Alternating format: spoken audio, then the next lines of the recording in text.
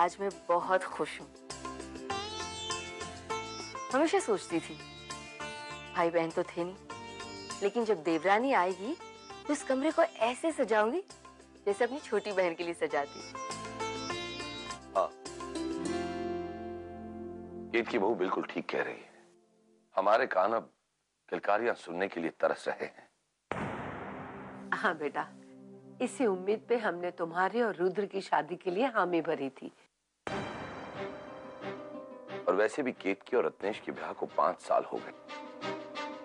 आज तक हमारे कानों में कलकारियों की आवाज़ सुनाई नहीं पड़ी। छोटी बहू मेरे अब तो हमारे सपने तुमसे और रुद्र से ही है।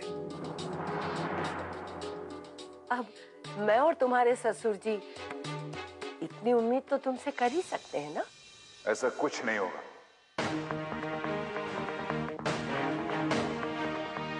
गौरी और मेरे बच्चे। भूल जा। हमने तो ये सोचकर गौरी से तेरी शादी के लिए हामी भरी थी कि गौरी हमें एक नन्ना सा रुद्र देगी इस हवेली का चिराग देगी। बस राजधानी जी बस। आज तक इसे समझाने से कुछ हासिल हुआ है हमें? हमेशा हमेशा ये लड़का अपनी मनमानी करता आया है। बाबूजी मेरा फैसला अटल है।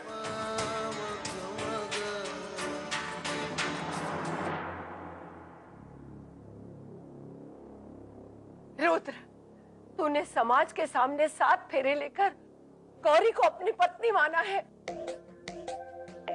फिर इस नाटक का क्या मतलब है बेटा?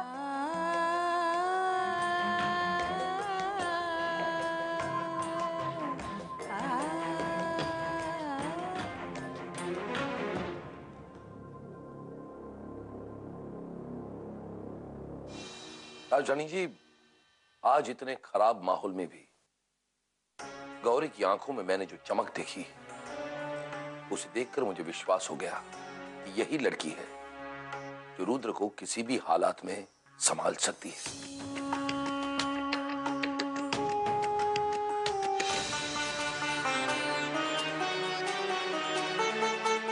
ये सब तुम क्यों कर रहे हो, रुद्र? तुम साबित क्या करना चाहते हो? गौरी मैं तेरे साथ इस कमरे में नहीं रहूँगा। जी बड़ी माँ बोलिए। ये कहने को फ़ोन किया कि तुमने जो मेरी मदद की है उससे मेरा काम बहुत आसान हो गया है। बस इसी तरह मेरी मदद करते रहना। गुड नाइट गुड नाइट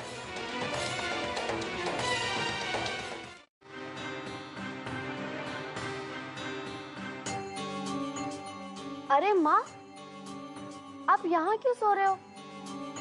और आपने तो आज कुछ खाया भी नहीं है ना? कुछ तो खा लीजिए आप। नहीं बेटा, मुझे कुछ नहीं खाना।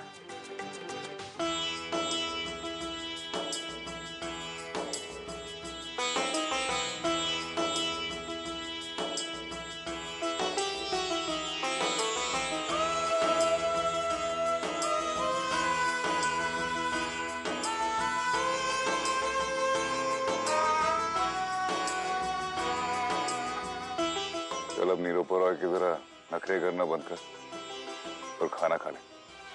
नहीं।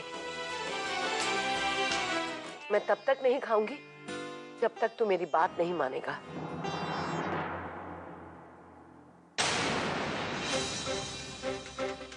तुझे खाना नहीं खाना है तो मत खा। मैं तेरी ये बात नहीं मानूँगा।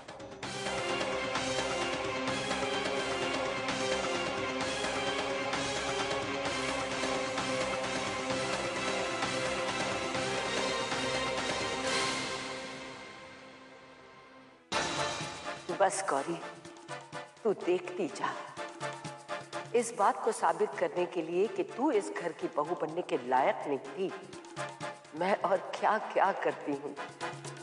चाहे इसके लिए मुझे अपने बेटे के जज्बातों से ही क्यों ना खेलना पड़े।